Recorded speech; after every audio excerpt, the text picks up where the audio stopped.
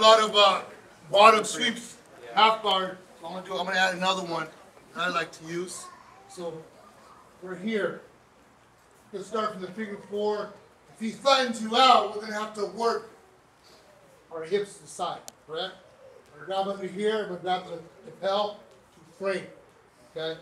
Now start opening up, kind of using this shield. I'm gonna go one, two, three, and I'm gonna pop up. Right here. Now, my knees, my, my legs on the bottom, they need to swap. This leg's gonna go on, that, on the inside, this is gonna come more in. Okay? Now, sometimes the kid's butt is on his heel, it's hard to do a swap. So all I gotta do is going forward, right? Still up here, then I do my swap here. Now, I'm gonna use my shoulder and my body to lift him up so that both knees can switch without having to bring my, my leg out. So I'm gonna pick him up, and I'm here.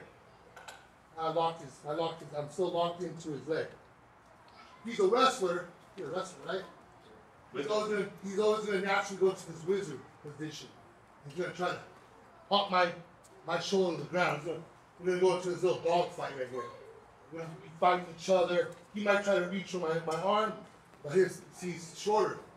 Okay? But if he's fighting me like a wrestler, I'm just gonna go with the flow. And I'm gonna grab that back ankle. This ankle right here. And I'm gonna shoot. Ready? So you're gonna fight me down? Bang! Little sweep. Okay. One more time. Just real simple, real easy. Okay, works a lot better if you're already on your side. Come up here, we frame. One, two, three. Pop up. Underhook. We can use this to spread his knee out. Now I'm, sw- I'm switched. Pop him up. Now both knees are on the ground. He starts to whizzer, and I just shoot. Underneath. Boom. To the side.